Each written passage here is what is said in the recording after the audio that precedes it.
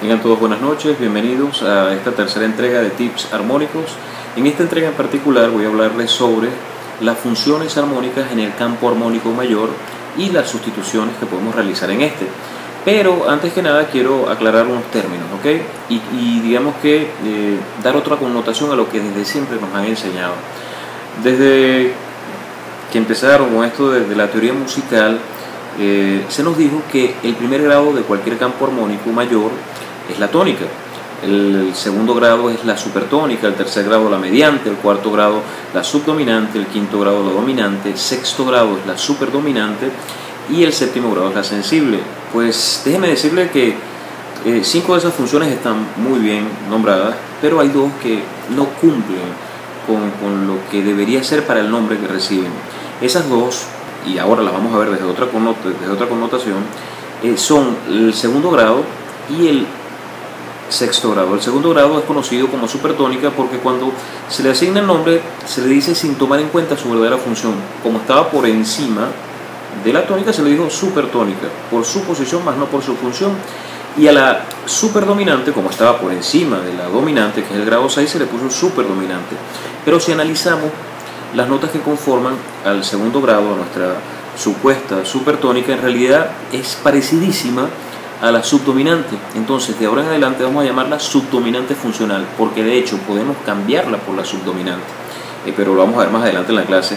Y el sexto grado, a la cual se le llama superdominante, en realidad la su triada es parecidísima a la tónica. De hecho, su segundo nombre, el cual vamos a empezar a usar desde ahora, va a ser supertónica funcional.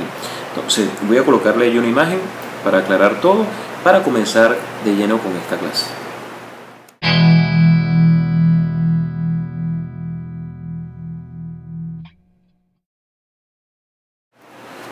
Muy bien, ok, habiendo aclarado entonces las verdaderas funciones armónicas del segundo grado y del sexto grado, vamos a pasar a eh, unos datos de cómo utilizar los mismos acordes que pertenecen a un círculo armónico mayor para hacer sustituciones, viendo la relación que guardan en su estructura tonal. ¿ok?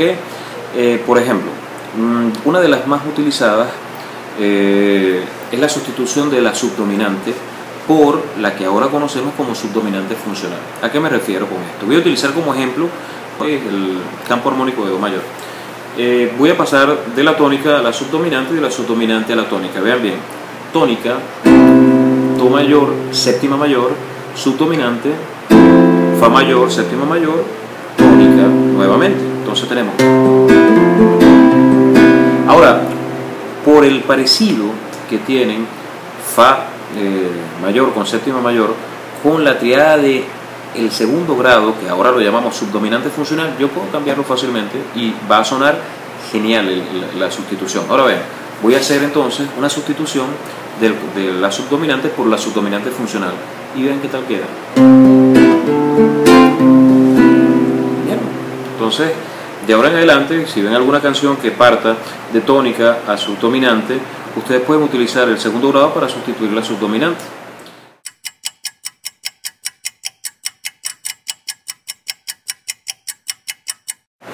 Em, otra sustitución que es muy muy conocida es sustituir el quinto grado, o sea la dominante, por la sensible. Si ustedes analizan la composición armónica, los grados que conforman eh, la dominante y los grados que conforman a la sensible verán un parecido también eh, entre ellas y eso le da facilidad a la sensible de sustituir a la dominante. Vamos a ver lo mismo en el caso de Do. Tenemos entendido entonces que Do es nuestra tónica, Sol séptima es nuestra dominante y descansamos otra vez entonces en la, tónica. Pero ¿qué va a pasar si en vez de utilizar la dominante, la dominante utilizo la sensible? Vamos a ver qué tal suena. Genial, ¿no? Se los voy a colocar allí para que lo vean.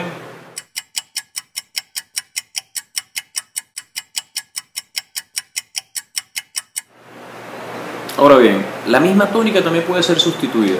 Podemos utilizar a la mediante para cambiarla por la tónica. Y también podemos utilizar, por supuesto, a la supertónica funcional, nuestro sexto grado, para cambiarla por la tónica. A ver qué tal suena. Voy a pasar de tónica subdominante, dominante y descanso en tónica y después cambio la tónica por la mediante. Vamos a ver qué tal. Tónica. dominante, dominante, tónica. Ahora voy a empezar tónica, subdominante, dominante y mediante.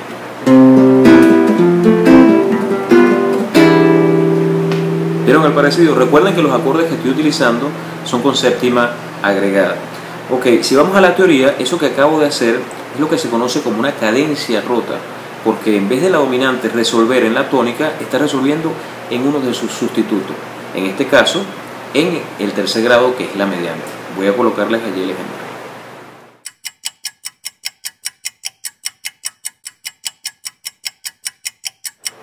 Ahora bien, la segunda sustitución de la tónica sería por la supertónica funcional, que es nuestro sexto grado. Eh, voy a hacer el mismo círculo, voy a pasar de la tónica, subdominante, dominante, pero ahora voy a caer en el sexto grado, que es nuestra supertónica funcional. Escuchen y díganme qué tal.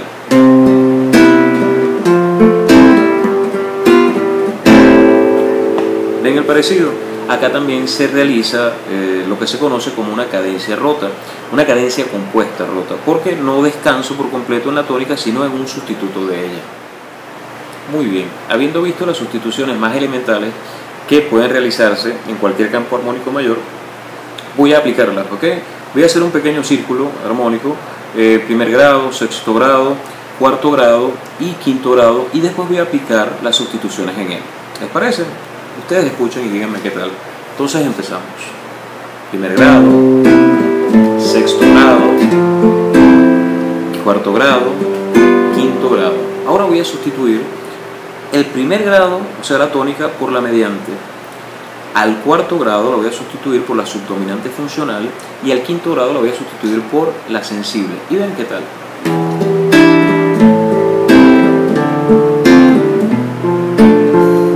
voy a empezar a jugar con los cambios, creo que aprecien acá la digitación que voy a ir realizando para que vean cómo se mantiene el, el sentido armónico pero con las sustituciones que voy aplicando.